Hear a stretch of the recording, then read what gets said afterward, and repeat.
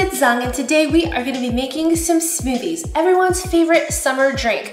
We're actually gonna be trying to recreate Jamba Juice's three most popular smoothies and see if we can make it a little healthier and better. All right, so I'm actually gonna need to try to taste them first. Fun fact, Jamba Juice was the first job I ever had at 16, and that was a really fun job for me.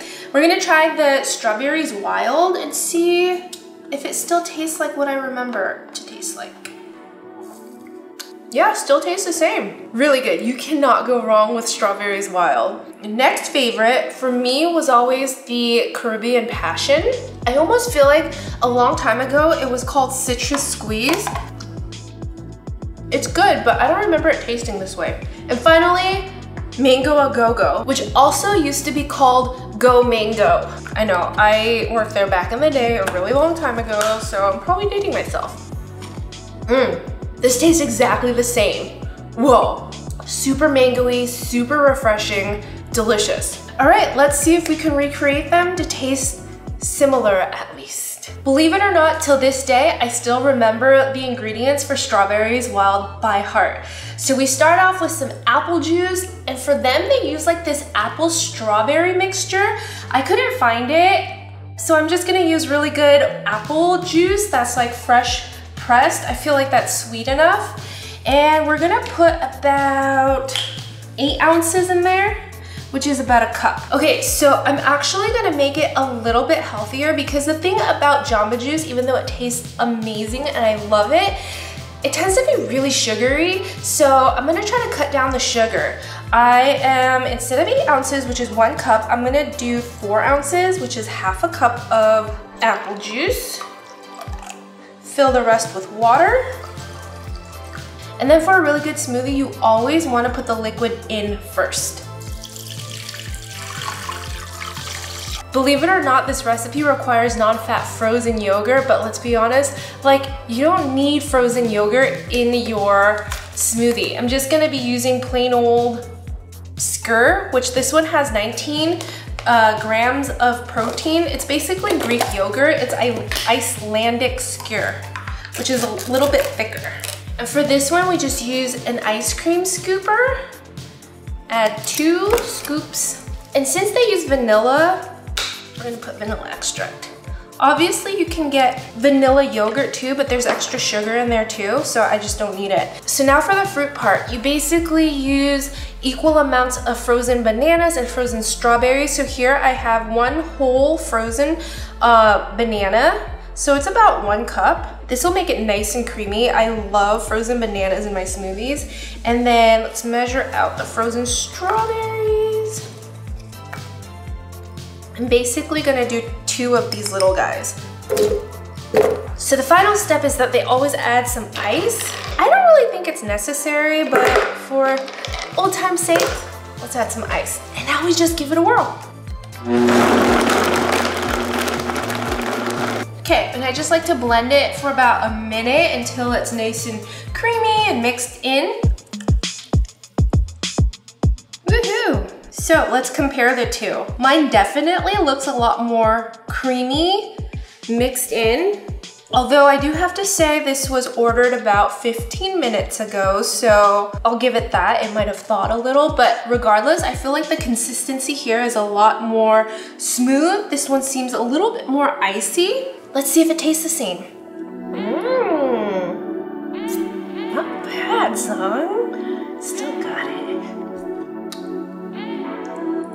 Totally taste very similar. The only thing I would say is that Jamba Juices, as I told you before, taste very sweet. So you can definitely tell the sweetness difference when drinking them side by side. The fruit flavors here definitely shine through. They also shine through on this one. I know that they use really high quality fruits. Uh, I think I remember it being called IQF, individually quick frozen, so they were always big on that. Um, but again, you can use any kind of frozen fruit. I got mine just from the store, pretty much the same. I would say the only reason why mine doesn't taste as sweet is because I use half the amount of juice that they did and because they use strawberry apple juice instead of regular apple juice. But honestly, if you wanted to make this at home, it's a no-brainer. All right, let's move on to the Caribbean Passion. Now this is the only one that didn't taste familiar to me, but also it's been a while since I've been there. But let's see how we can recreate this. So um, I looked up their ingredient list and it says mango passion juice. I don't have mango passion juice and I couldn't find that, but I did find passion orange guava, which has a little bit more of a tropical Hawaiian theme to it, but this is called Caribbean passion, so hopefully it passes. We're gonna do eight ounces or four ounces of this juice. And then here's a little bit of a kicker. They add orange sherbet in there, which I also don't think ice cream is necessary, so I'm gonna add some orange juice to it. We're just gonna do a quarter of a cup of this orange juice and then the rest with water. Okay, so quarter cup just to get that orangey flavor in there, a little bit more pronounced. And the reason why I'm adding the rest with water is because I want the ratio for the smoothie to come out creamy rather than like just icy. Even though they use orange sherbet, I still think it needs a little bit of creaminess from like a yogurt. Plus this has protein, so it'll kind of just keep us fuller, but I'm gonna do one scoop. Now they also have frozen peaches. I'm gonna do one part of frozen peach to two part frozen strawberries. So just one of these cups and then two of these cups of frozen strawberries.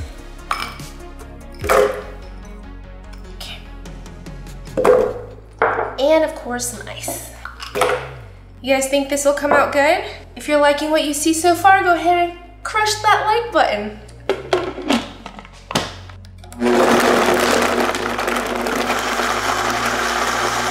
Looks nice and smoothie-like.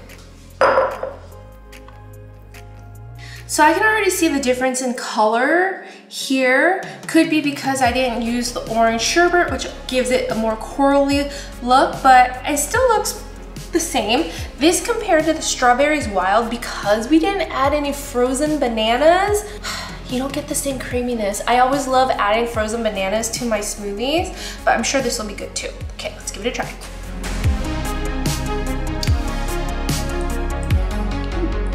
Does it taste like this? Not at all. I don't have passion in mango juice. I feel like the mango juice would have been key here. And if I could do this over, maybe I would put some frozen mangoes in there, but obviously it wasn't in the ingredients, so I should have improvised.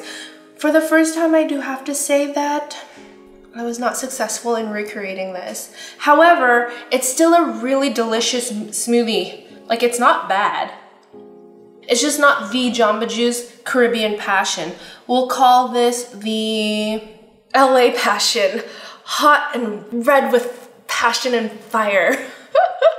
All right, our next one, the Mango A Go Go. This was delicious as is, but we're gonna try to make it a little less sweet, which, you know, sometimes is this better for you. Half a cup of this passion pog juice. If you can find mango juice though, definitely add it in here because I think it'll really bring out the flavor of the mango. Remember, we're making it less sweet. Add this in. Okay, one scoop of Greek yogurt. All right, so I do have to say that they use pineapple sherbet, which is delicious, but we don't have that. So we're gonna do one part Greek yogurt and good old pineapple chunks. Add that in.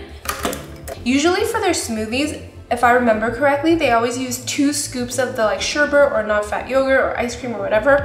But here I'm gonna just use fruit. Their recipe does not have bananas, but I love the creaminess that frozen bananas give, so I'm just gonna add like half a banana in there. This is for texture, not so much for taste. And then because it's called mango a go-go, we're gonna add loads of frozen mangoes. I'm adding like almost a whole bowl here, mango chunks. I honestly don't think it needs any ice, so I'm not gonna add ice this time. This is like way more than enough frozen fruit.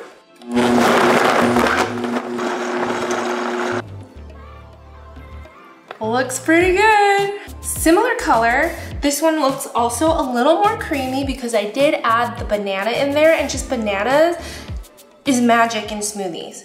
Okay, let's give it a try. Mmm. Mmm.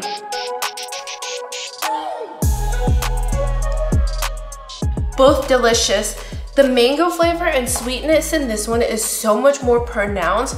Again, probably because they use mango juice, but also because they have a lot, a lot, a lot more sugar from the pineapple sherbet their own juice mixture. Since we watered this down a little bit, it's not as sweet, but that's not a bad thing. You definitely taste the mango flavor, like the natural mango flavor from the loads of mango chunks that we added in there.